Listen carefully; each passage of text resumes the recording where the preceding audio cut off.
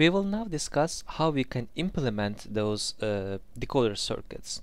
So on the one left, uh, this is the active high decoder. The outputs are only the output that is one that is that is chosen. So we call it one of four decoder these decoders because it has the only one of the output is chosen at one time.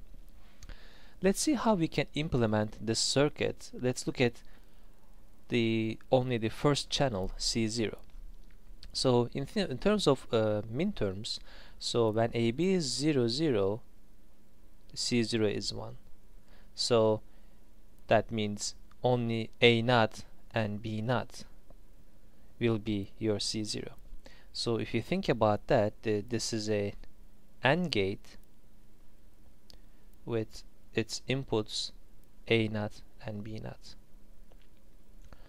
So this is your C0.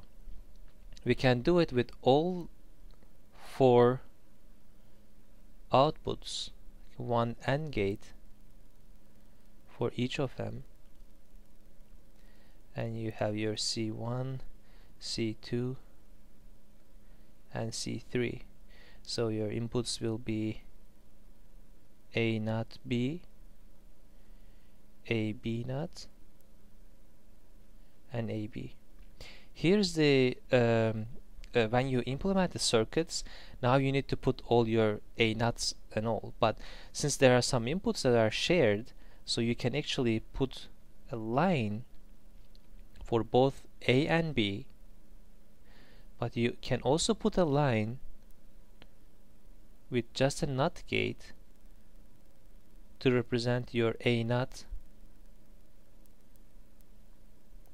and B naught and you can now make your connection so you don't have to do you have, have to put A naught everywhere uh, the NOT gates. So this is gonna be A naught B naught A naught B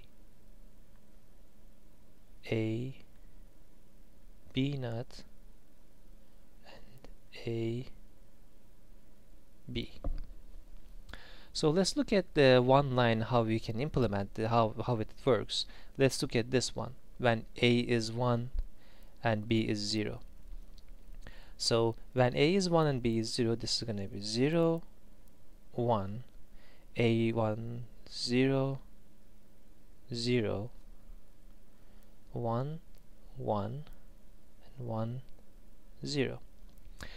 So with these combinations, this is an AND gate. If one of the inputs are 0, the output is going to be 0. Only C2 will generate a 1. So that way you chose only this output only one output is one at one time so when it comes to active low decoder the symbol is again exactly the same except it has these bubbles. That means when an output is selected let's say we selected this one that is going to be 0 and all the other outputs will be 1 that is the only difference that you can see in your in the truth table. When it comes to circuit implementation actually the idea is again the same but since everything is exactly the opposite you can actually implement it with NAND gates instead of AND gate. So everything is gonna be the same except you will have a NAND gate here and you will put exactly the same part here. Let me let me do it quickly. This is A B this is your A naught.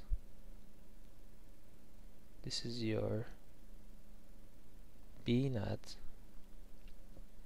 So your first okay, this is a naught b naught. A naught b naught. This is a naught b. A naught b. This is a b naught. A b naught. And a b.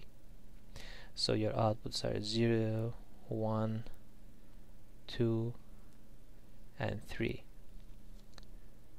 if we do again let's say we chose this one 0 1 a is 0 b is 1 then you will get a naught b naught that's gonna be 1 0 this is a not b.